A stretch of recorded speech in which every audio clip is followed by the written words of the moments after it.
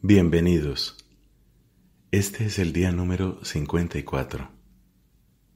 Pedimos el auxilio del Señor porque deseamos leer toda la Sagrada Escritura en 365 días. Pero sobre todo necesitamos de ese auxilio porque solo el Espíritu Santo nos puede ayudar a comprender la palabra divina y sobre todo a hacer la vida de nuestra vida. Hoy tendremos textos del libro Levítico, del libro de los Salmos y del Evangelio según San Mateo. En el nombre del Padre y del Hijo y del Espíritu Santo. Amén. Levítico, capítulo primero. El Señor llamó a Moisés y le habló desde la carpa del encuentro en estos términos. Di a los israelitas, cuando alguno de ustedes presente al Señor una ofrenda de ganado, podrá ofrecer animales del ganado mayor o menor. Si su ofrenda es un holocausto de ganado mayor, deberá presentar un animal macho y sin ningún defecto lo llevará a la entrada de la carpa del encuentro para que sea aceptado por el Señor, e impondrá su mano sobre la cabeza de la víctima. Así, ésta le será aceptada y le servirá de expiación. Luego inmolará el novillo en la presencia del Señor, y los hijos de Aarón, los sacerdotes, ofrecerán la sangre y la derramarán sobre todos los costados del altar que está a la entrada de la carpa del encuentro. El oferente desollará la víctima para el holocausto y la dividirá en pedazos. Entonces los hijos del sacerdote Aarón encenderán fuego en el altar, pondrán leña sobre el fuego y dispondrán los pedazos sobre el fuego, y dispondrán los pedazos sobre la leña encendida que está sobre el altar, incluidas la cabeza y la grasa. Después el oferente lavará con agua las entrañas y las patas, y por último, el sacerdote hará arder todo sobre el altar. Es un holocausto, una ofrenda que se quema con aroma agradable al Señor. Si su ofrenda para el holocausto pertenece al ganado menor, corderos o cabras, deberá ofrecer un animal macho y sin defecto.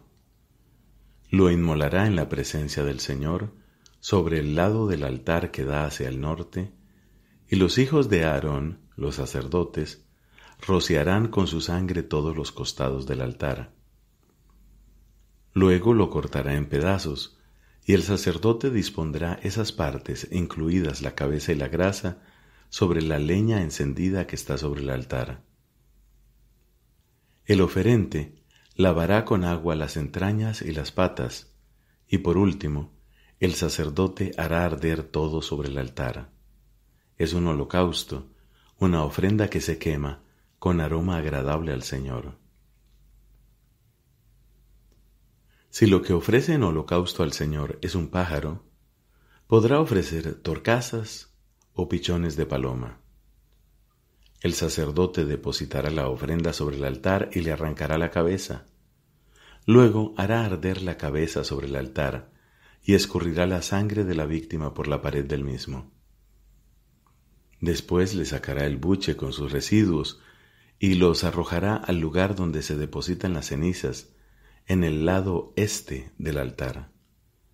Dividirá el animal en dos mitades, dejando un ala de cada lado, pero sin separarlas. Finalmente, el sacerdote lo hará arder sobre la leña encendida. Es un holocausto, una ofrenda que se quema con aroma agradable al Señor. Cuando una persona ofrezca al Señor una oblación, su ofrenda consistirá en harina de la mejor calidad. Sobre ella derramará aceite y pondrá incienso. La llevará a los hijos de Aarón, los sacerdotes. Y el sacerdote tomará un puñado de la harina con aceite y todo el incienso, y hará arder sobre el altar ese memorial como una ofrenda que se quema con aroma agradable al Señor.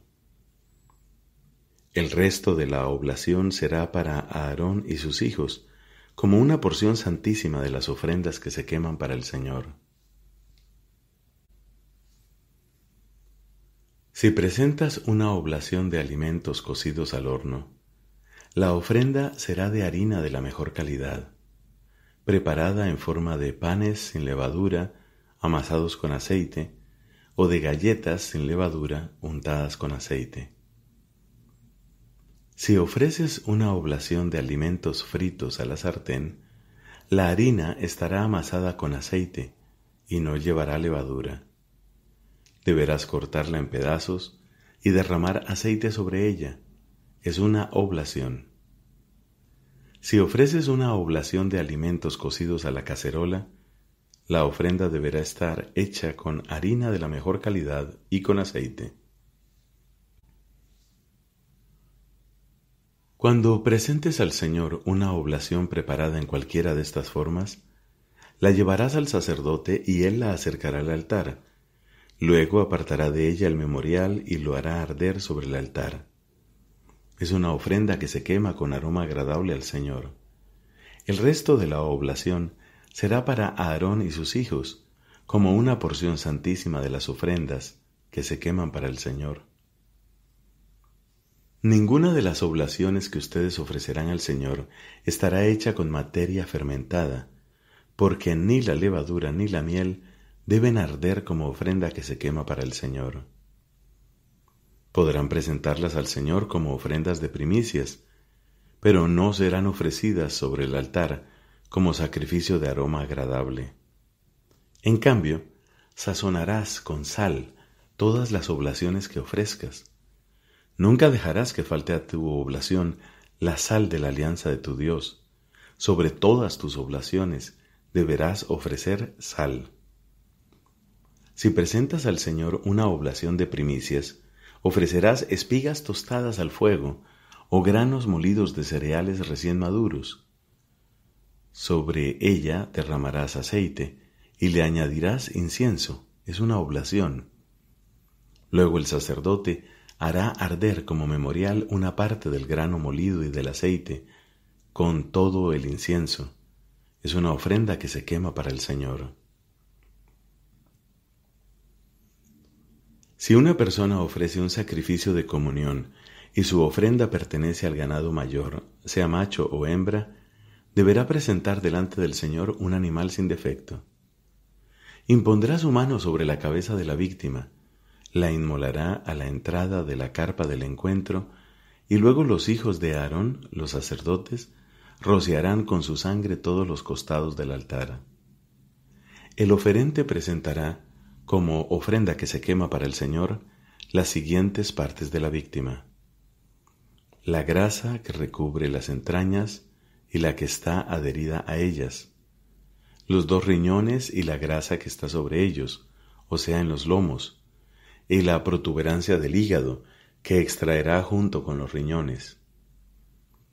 Los hijos de Aarón harán arder todo eso sobre el altar, junto con el holocausto colocado sobre la leña encendida, como una ofrenda que se quema con aroma agradable al Señor. Si su ofrenda para el sacrificio de comunión pertenece al ganado menor, sea macho o hembra, deberá ofrecer al Señor un animal sin defecto. Si lo que ofrece es un cordero, lo presentará ante el Señor, impondrá su mano sobre la cabeza del animal ofrecido y lo inmolará delante de la carpa del encuentro Luego los hijos de Aarón rociarán con su sangre todos los costados del altar. El oferente presentará como ofrenda que se quema para el Señor la grasa de la víctima para el sacrificio de comunión, a saber, toda la cola, que deberá ser cortada cerca del espinazo, la grasa que recubre las entrañas y la que está adherida a ellas, los dos riñones y la grasa que está sobre ellos, o sea, en los lomos, y la protuberancia del hígado que extraerá junto con los riñones. Finalmente, el sacerdote hará arder todo eso sobre el altar. Es un alimento que se quema para el Señor.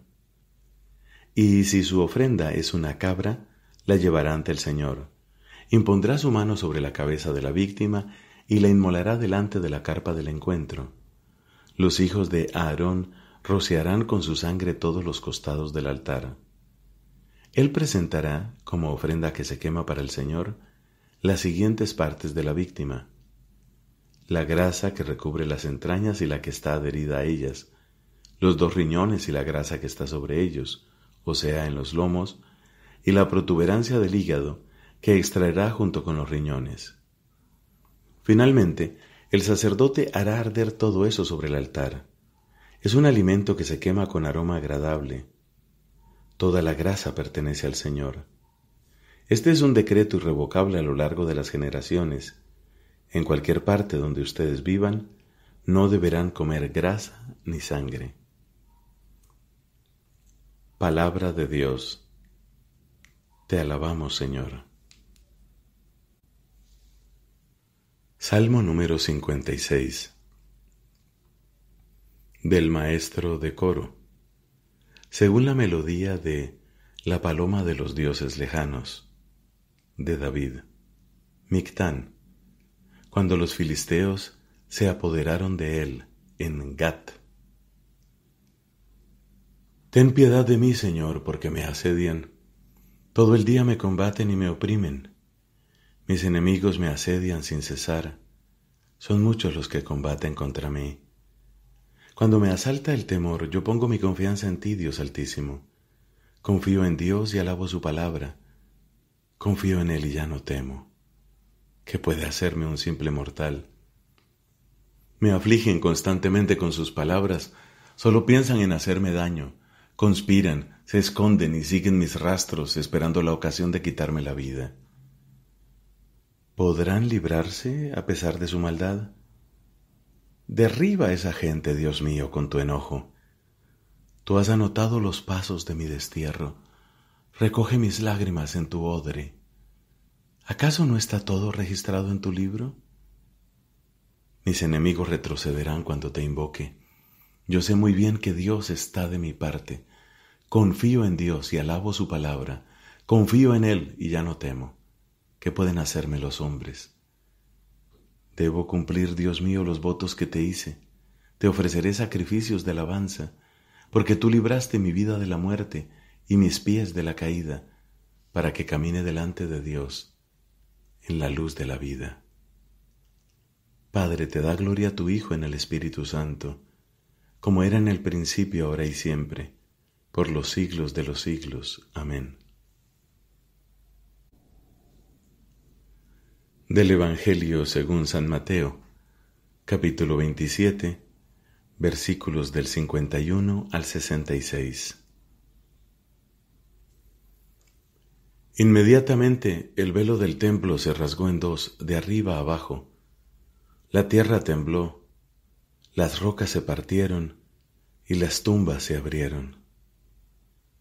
Muchos cuerpos de santos que habían muerto resucitaron y saliendo de las tumbas, después que Jesús resucitó, entraron en la ciudad santa y se aparecieron a mucha gente.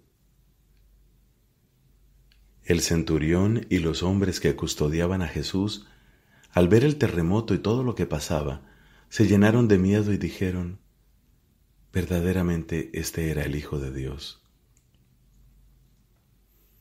Había allí muchas mujeres que miraban de lejos, eran las mismas que habían seguido a Jesús desde Galilea para servirlo.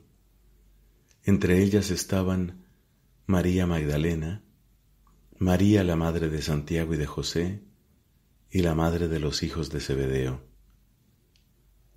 Al atardecer llegó un hombre rico de Arimatea llamado José, que también se había hecho discípulo de Jesús, y fue a ver a Pilato para pedirle el cuerpo de Jesús. Pilato ordenó que se lo entregaran.